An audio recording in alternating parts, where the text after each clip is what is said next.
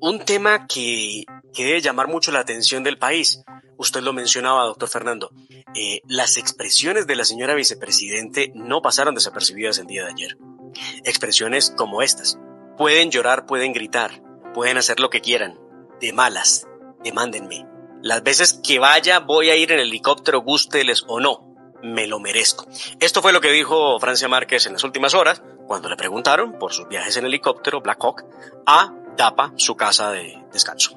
¿Por qué cree que no lo cuestiones? Porque soy una mujer negra y porque soy una mujer que viene de abajo. ¿Usted cree que todo, Porque soy humilde. Claro. todo está marcado en, en eso, en que es una mujer Este, el negra? clasismo, el clasismo en este país es evidente. El racismo en este país es evidente, lo acabamos de hablar. Si usted fuera blanca, no habrían hecho ningún Si fuera escándalo de blanca eso. y de élite, no estaban haciendo escándalos, porque es normal, es normal que a una persona de élite que nació en cuna de oro la transporten en esos equipamientos, en esas aeronaves, pero no es normal que una mujer que trabajó en una casa de familia y que ahora es la vicepresidenta de Colombia se transporte en eso, pues de malas. De malas. ¿Cómo le Le pregunto una cosa, doctor Fernando, usted que por tantos años ha enseñado Derecho Constitucional. ¿Es cierto que el segundo cargo más importante de la nación es el del vicepresidente de la República? No, señor. El vicepresidente no es un cargo. Según la Constitución Nacional, el vicepresidente simplemente está ahí, ante la expectativa de que el presidente pueda faltar por alguna razón y lo reemplace el vicepresidente. Y tiene como funciones las que expresamente le adjudique el presidente de la República para que haga esto o aquello, para que intervenga en esto o en aquello.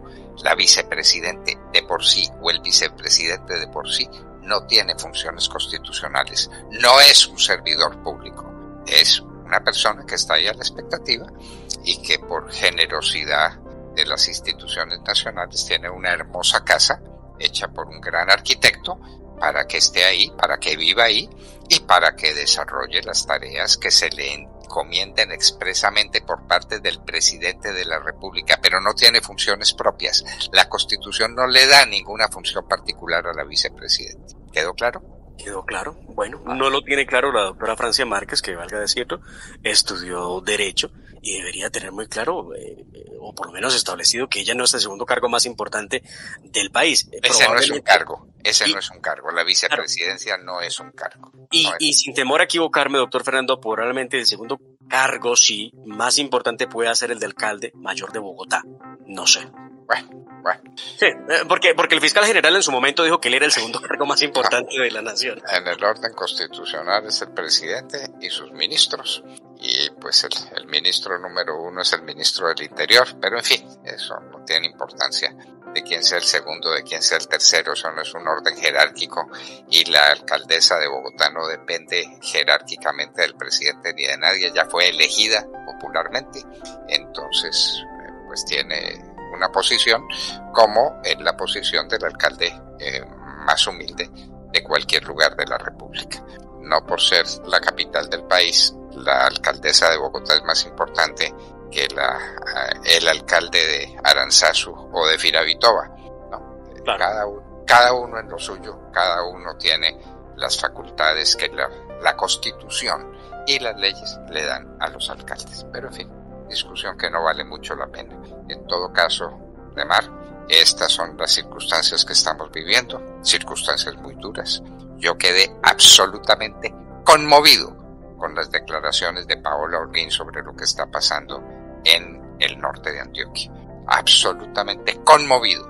Los niños no pueden ir a los colegios, los padres no pueden salir a trabajar, los costos de las cosas son insuperables, inmanejables. Eh, la vida es terrible por obra de la minería ilegal que destruye los ríos, que acaba con las riberas de los ríos y del narcotráfico, que acaba las selvas y que convierte los montes en verdaderos eriales. Qué horror lo que está pasando en el nordeste antioqueño. ¿Y quién pone orden? ¿Quién pone orden? Pregunta que nos hacemos. En fin. Esta fue la soberbia respuesta de la vicepresidenta Francia Márquez cuando le preguntaron sobre sus reiterativos y diarios viajes en helicóptero a costa de los impuestos de los colombianos. Escuchémosla, por favor. No, el fin de semana fui y subí en helicóptero Y hoy me vine y salí en helicóptero. Y voy a seguir las veces que vaya, voy a ir en el, en el helicóptero. Les guste a la élite colombiana o no. Yo soy la vicepresidenta de este país. Me eligieron los mismos 11 millones y algo que eligieron al presidente, me eligieron a mí.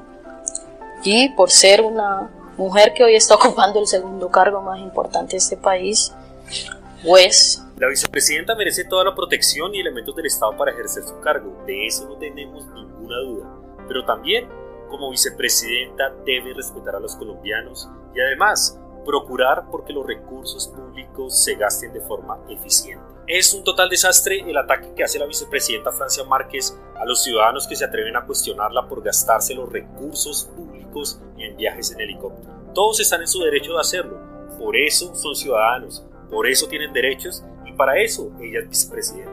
Y por último, doctora Francia Márquez, la soberbia siempre es mala consejera y estos siete meses de gobierno los que usted ha estado como vicepresidenta del país han sido un total desastre. Su gestión ha sido realmente nula.